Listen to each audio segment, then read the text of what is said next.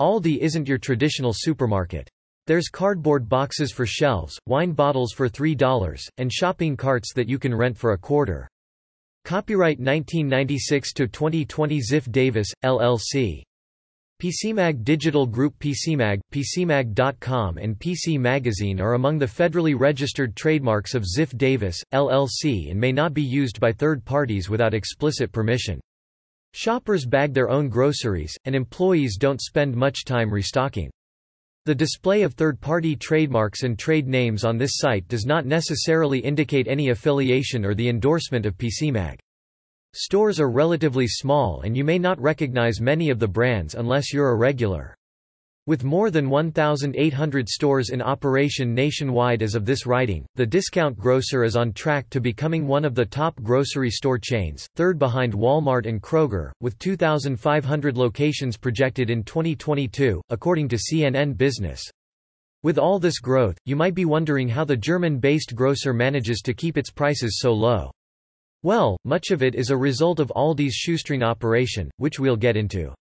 If you click an affiliate link and buy a product or service, we may be paid a fee by that merchant. All those savings at the top trickle down to savings for the shoppers, and that's all done without infringing on quality. Aldi CEO Jason Hart told CNBC Markets that shoppers are saving money on high-quality products in a convenient, less frustrating shopping environment. So let's break it down and see exactly how Aldi keeps its prices so low. Aldi's quarter system is key to keeping prices low Aldi keeps prices down, in part, by employing a small workforce. In fact, that small workforce is the reason you'll have to insert change to use an Aldi shopping cart. If at any point you want to use a cart to navigate the store, you'll rent one. A quarter unlocks a cart from the corral at the front of the store, the penny hoarder explained. But don't worry about losing your money. As you're only renting the cart, you'll get your quarter back once you return the cart to the store. Considering shoppers do the work of putting the carts away, Aldi save money by not hiring cart attendants to gather them from the parking lot. Aldi may be most popular for this cart system, but the chain isn't the first to use this tactic. CNN Business reported that other grocers throughout the United States tried to implement the system back in the 80s and 90s, but quickly gave up as it frustrated their shoppers. Yet and still, Aldi has never wavered from the quarter cart model. In fact, it was in place when the first American Aldi opened in Iowa in 1976 and, according to CNN, the company credits the system for helping keep prices so low. Aldi keeps prices so low by putting its shoppers to work for better or for worse. Aldi is able to keep prices low by making the customer work. Not only will you be in charge of putting your cart back where you found it, but Aldi also has customers bag their own groceries, CNN Business explained. In doing so, cashiers are able to process more transactions as they don't have to pause to bag. Subsequently, the chain doesn't need to hire as many cashiers. And, of course, that means the chain saves money, and some of those savings are passed on to the consumer. So, how exactly do you bag your own groceries at Aldi? You have several options, you can purchase plastic and or reusable bags at the store, bring your own bags, or opt for empty cardboard boxes, which may corralled in an area within the store. While it may not be as glamorous as having your groceries bagged by someone else, it's part of how Aldi keeps prices low. Not to mention, it also saves you time. Those lines fly. You're not waiting for people to bag. They're not messing around there, Baltimore-based food writer Allison Robicelli told CNN. Once you see that kind of efficiency, it makes going to other supermarkets really annoying and really tedious. Each Aldi store employs a tiny, multitasking workforce to lower prices while shopping at Aldi. You might notice a limited number of employees compared to large supermarkets. You probably won't see an employee taking calls, either. As CNN Business reported, most Aldi stores don't even have a public phone number so as to avoid employees spending time on calls with customers. In an effort to save both time and money, all employees are also cross-trained in order to perform every task. That's important to the store's success because one Aldi store might only have 3 to 5 people in it at any given time, and only between 15 to 20 total store employees on the payroll, according to CNN. Having a small and efficient workforce ultimately saves the chain a ton on labor costs and those savings trickle down to the customers. While Aldi strips down a lot of things you may have come to expect from a grocery store, Katrijn Gielens, marketing professor at UNC's Kenan Flagler Business School in North Carolina, told CNN Business they do so without compromising on quality. Aldi keeps prices so low by using cardboard boxes and crates to display products walk into a large grocery store and you'll find products displayed on shelves pretty much everywhere. That's not the case at Aldi, which often makes makeshift shelves using the same crates and cardboard boxes in which products are shipped, CNBC's Make It revealed. It may not look as pretty, but Aldi and its customers save some coin thanks to this practice. According to CNN Business, this money-saving tactic also saves employees the time it takes to unpack boxes and stock shelves since the products are already in place. This is just one of the many strategies Aldi utilizes to keep prices low and make people feel better about their purchase, Walmart CEO Gregory Foran recognized.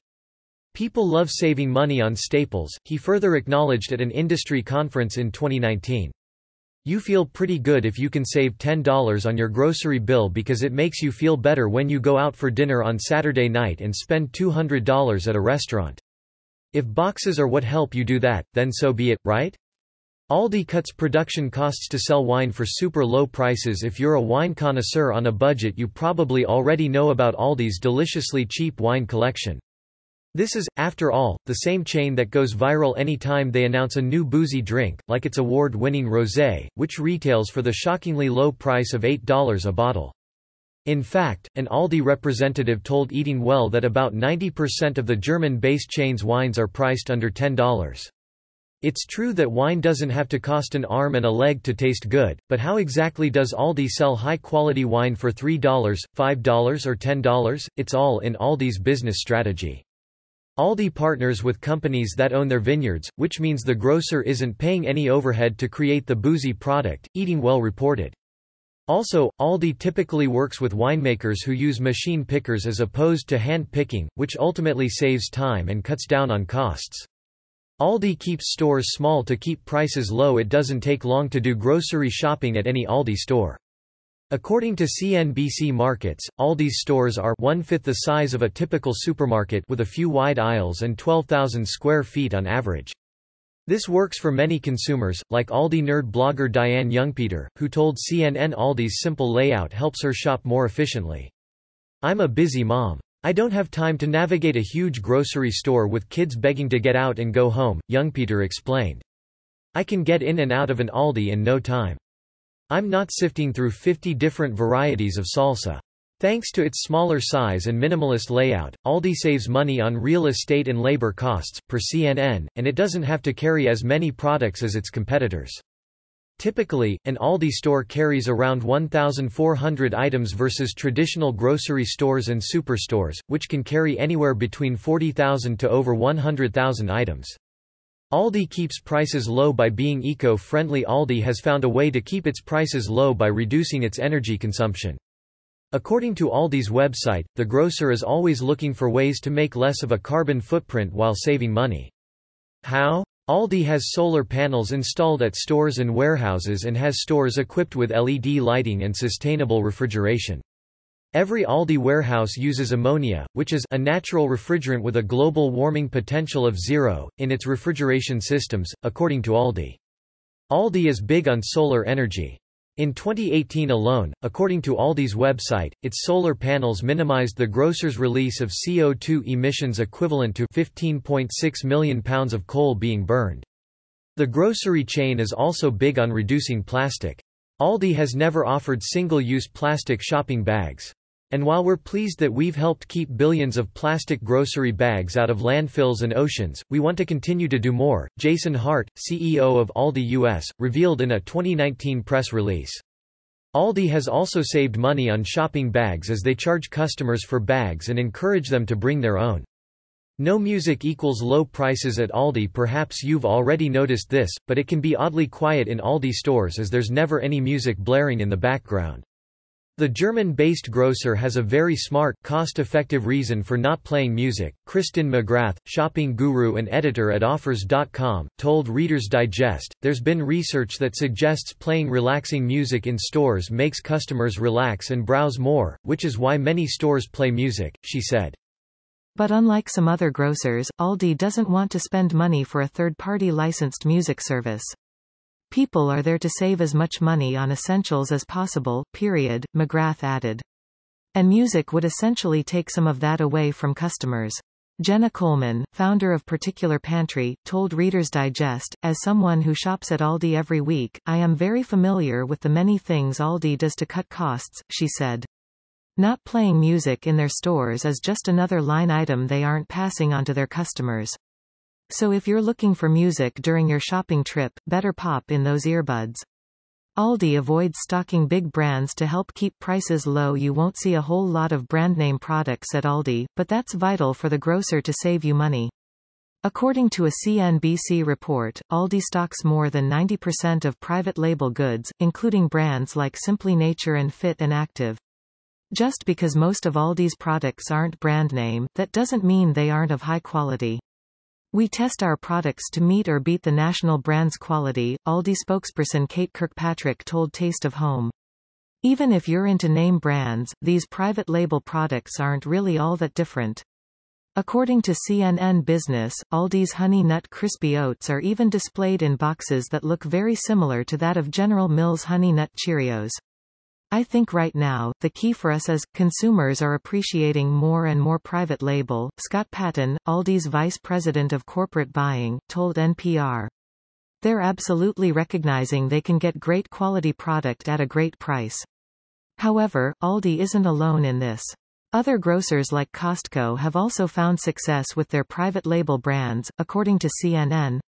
Aldi buys from local farmers to keep prices so low much of the organic produce you find in your neighborhood Aldi comes from local farmers. According to Aldi's website, the German-based grocer teams up with local farms to help customers get the freshest produce at low prices. But how do you know a product is locally sourced? Every item that comes from a local farmer is marked with a locally grown logo. You can even find locally sourced craft beer, bread, and meat at Aldi stores. Buying local is both good for the planet and good for your wallet. Aldi is able to cut costs on transportation, as reported by Taste of Home, which not only saves money but lessens the impact on the environment. Every Aldi store receives fresh produce shipments on a daily basis and between 5 to 10% of those products are locally sourced. Tom Sindel, Group Director of Operations, Logistics for Aldi's Moreno Valley area, confirmed to NBC7 San Diego. This is a win-win for the grocer and its customers. As Sindel explained, people are savvier about what they eat and how much they're willing to pay for food. Aldi keeps prices low on organic foods across the board. Fruits and veggies are the most commonly purchased organic products at any grocery store, according to a survey from Earthbound Farm, and Aldi is no exception. Though typically organic items do tend to be pricier, a CNBC Make It report found that Aldi sells USDA organic foods cheaper than its distant cousin Trader Joe's as well as competitors like Walmart and Whole Foods. Now more than ever, organic products are in demand, especially with millennials and Gen Z shoppers, who reportedly purchase organic food all the time. While Aldi's business model focuses on low prices, it doesn't mean quality isn't just as important as value. John Karolefski, editor of Grocery Stories, told CNBC that Aldi delivers on both. Aldi, happily, has a lot of good quality, good-tasting products at good prices, Karolefski said. It's one of the reasons they've been so successful in the U.S. Keeping variety low and volume high helps keep prices down at Aldi. One thing every regular Aldi shopper knows is that they won't necessarily find a dozen options of, say, ketchup at their neighborhood store. Aldi stores carry a limited assortment of products at a significant volume, according to its website. This enables the chain to land good deals with suppliers and provide low prices to its customers, as reported by NPR. Scott Patton, vice president of corporate buying at Aldi, told NPR that unlike traditional supermarkets, Aldi has been involved in being a low-price leader since day one. He continued, saying, because of the way we structure our business, we are comfortable that we will come out as a leader in the price war. One of the many ways Aldi leads that price war is by limiting how many brands the chain carries. So the next time you find yourself doubting the quality of a super low-priced item at Aldi, know it's the result of the way Aldi does business and not reflective of the quality. Aldi stores keep prices low by closing early Aldi doesn't generally follow the norm when it comes to operating a grocery store, and that includes its store hours. While other chains like Walmart keep the lights on for as long as 24 hours a day, Aldi turns them off not long after dusk. Visit Aldi's store locator page and you'll find most locations typically operate between 9 a.m. to 8 p.m., with some even closing as early as 7 p.m. It might seem like closing early would mean the chain loses out on potential sales, but closing early actually saves you, and Aldi, money. According to Taste of Home, Aldi's hours of operation allow the German-based grocer to save on wages and reduces operational costs, thus providing more savings for its customers.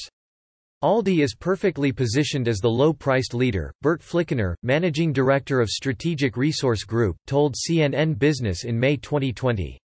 A family with five kids and a rescue pet spending $200 a week of groceries at a typical supermarket chain is spending $120 to $140 a week at Aldi.